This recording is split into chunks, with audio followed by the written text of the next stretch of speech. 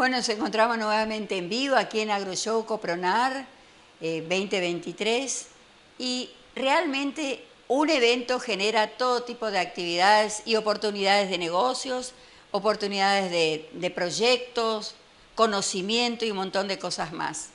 Ahora vamos a hablar con el señor Natán Dalima. Ellos es un grupo, es un equipo que vino desde Foz de Iguazú y vamos a conocer qué están realizando o qué están haciendo por aquí por este gran evento que es AgroShow Copronal. ¿Qué tal? ¿Cómo te va, Natal? ¿Cómo andas? Bienvenido a nuestro programa. Muito obrigado, Branca. Agradeço a presença aqui, agradeço a, o espaço para estar conversando com vocês aqui.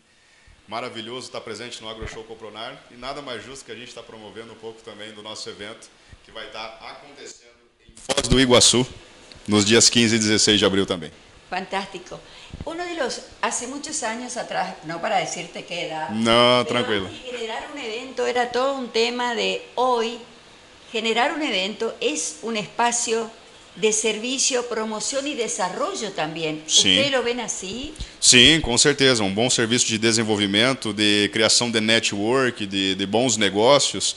E o Agro Innovation, que é o nosso evento, vai promover isso de forma completa para os profissionais do comercial do agronegócio. Eso quería preguntarte, pero por ejemplo estuvimos hablando con uno de los chicos de tu equipo Sí. y él habló, bueno, que vamos a, los vendedores, en este caso que interpreté, los vendedores de las distintas empresas, a veces no solo los vendedores, sino la empresa en sí, eh, es como que ponen toda la energía de tener un lindo stand, eh, y un buen servicio, pero de repente el vendedor no está preparado para ofrecer ese servicio o ese producto. ¿Es así?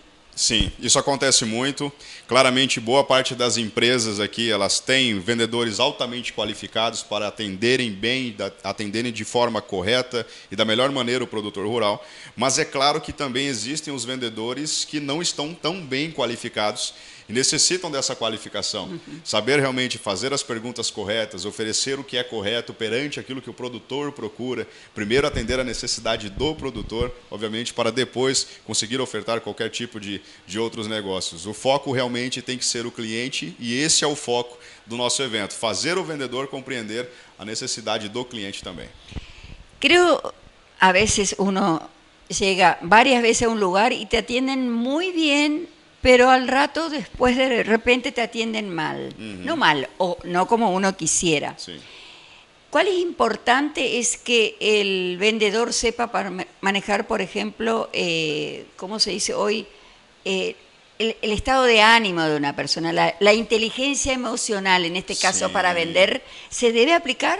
Sim, com certeza. A inteligência emocional para o vendedor é uma das primeiras formas de realmente conseguir realizar boas vendas, fazer um, um bom atendimento, entrar em contato. Então, quando falamos de estados emocionais, tanto do vendedor quanto do cliente, é lógico que nem todos os dias o cliente também está bem.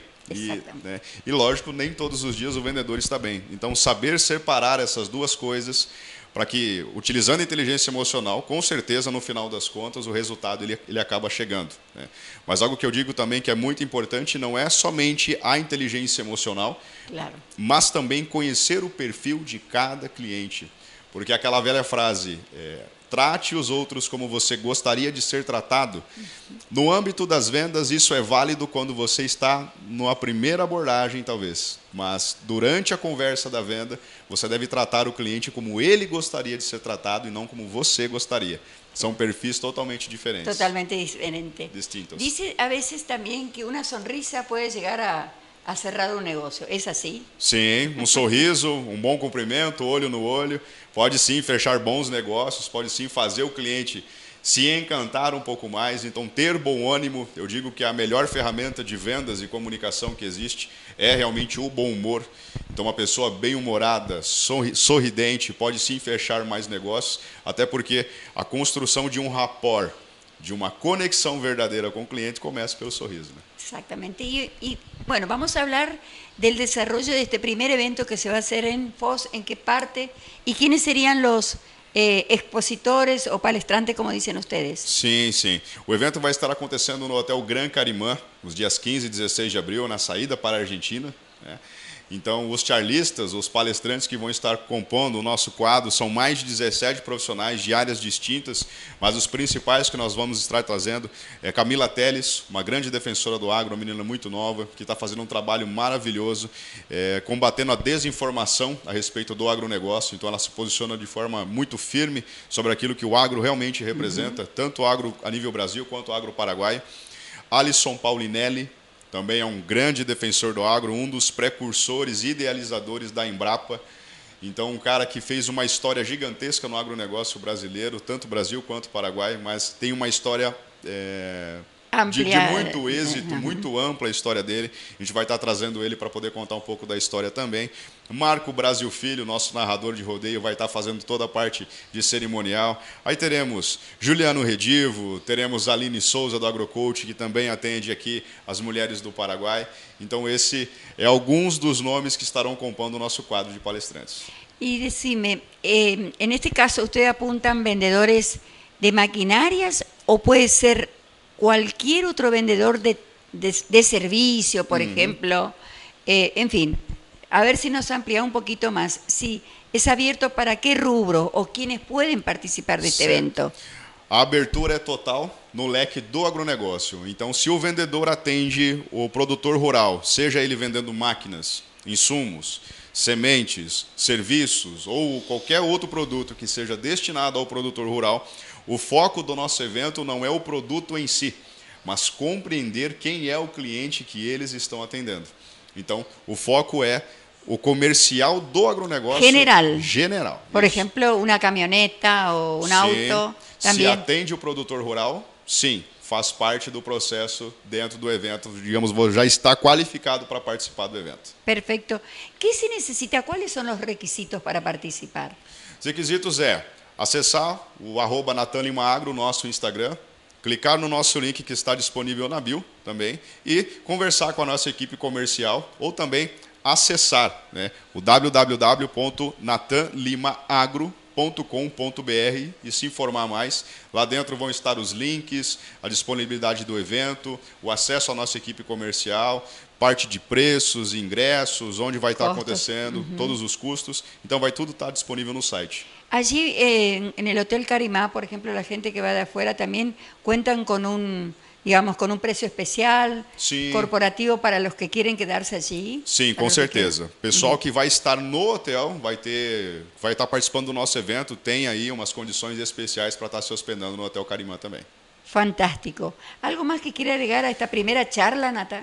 Blanca, eu somente agradeço o espaço Não. teu aqui, de verdade. Eu também me vi aprender, te conto. Sim, com certeza. E a gente está convidando você também para estar tá fazendo parte desse evento. São nossos convidados. Gostaríamos muito de ter a presença da TV. E é lógico, quanto mais é, informação, quanto mais contato, quanto mais network a gente consegue levar, realmente, melhor a qualidade do evento no final das contas. Pero te voy a hacer una pregunta que, que, que, siempre anda allí. Eh, mucha gente habla de marketing y creen que marketing es solamente hacer un flyer y levantar a las redes sociales. No. Y a veces eso no tiene impacto. Puede tener o não pode ter, verdade? Pode... Aqui é muito mais amplo que isso? Sim, é muito mais amplo. O marketing não é somente simplesmente fazer uma boa arte, imprimir, entregar ou fazer uma postagem no Instagram mas é também envolver um planejamento, um direcionamento para quem você está definindo, definir uma persona, definir as estratégias, quais são os investimentos que vão estar sendo alocados, o que é viável, o que não é. Então, a parte do marketing ela vai muito além disso, né? Então, hoje nós estamos mostrando várias vertentes que são possíveis de estar sendo realizadas no marketing também. Bueno, Eh, te deseo lo mejor y si Dios quiere vamos a estar por allí. Repetime la fecha e o lugar, por favor. Certo, nos dias 15 e 16 de abril vai acontecer no Hotel Carimã, em Foz do Iguaçu. Muchas gracias. Obrigado, eh, Blanca. Y, y, gracias a ustedes también. En cualquier momento volvemos con más información desde aquí de AgroShow Copronar. Los espero.